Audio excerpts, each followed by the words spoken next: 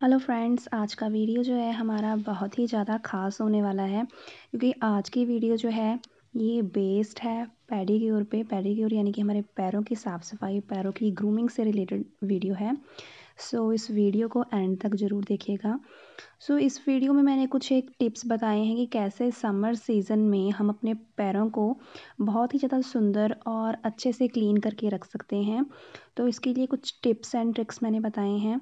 जिन्हें अपने घर में बड़ी आसानी से फॉलो कर सकते हैं, क्योंकि सभी मटेरियल बड़े आराम से आपको घर में मिल जाएगा। सो फ़र्स्ट ऑफ़ ऑल हमने क्या करना है? थोड़ा सा पानी जो है, पानी को हल्का गर्म करके उसको भर के हमने अपने पैरों की अच्छे से सफ़ाई कर लेनी है।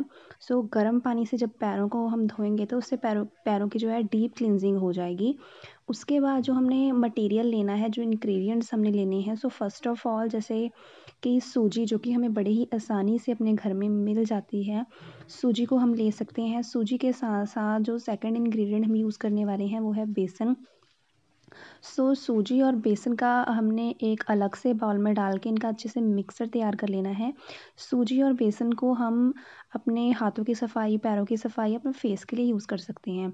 सो सूजी और बेसन के अलावा जो थर्ड चीज़ हम यूज़ करने वाले हैं वो है नींबू यानी कि लेमन सो so, लेमन में विटामिन सी जो है वो पैरों को अच्छे से डीप क्लींस करने का काम करता है। सो so, इन तीनों चीज़ों को यानी कि सूजी को बेसन को और थर्ड इंग्रेडिएंट जो है हमारा लेमन तीनों को हमने अच्छे से एक बाउल में डाल के अच्छे से उसको मिक्स कर लेना है अच्छे से उसको मिला लेना है।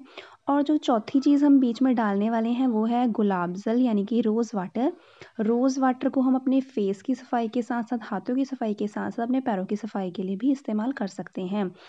सो so, गुलाब जल अगर आपको मिल जाता है तो बहुत ही ज़्यादा अच्छी चीज़ है डाबर गुलाबरी। इसके अलावा अगर ये आपके पास नहीं है तो आप घर में ही अपने गुलाब के फूलों को उबाल कर पानी में अच्छे से उबाल कर उसका गुलाब जल तैयार कर सकते हैं।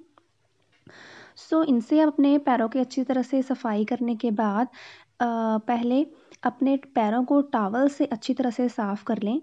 सो so, उसके बाद 10 से 15 मिनट के प्रोसीजर के बाद आपको दोबारा से पानी लेके इस बार जो आपका सेकेंड टाइम जो आप पानी लोगे वो हल्का ठंडा होना चाहिए।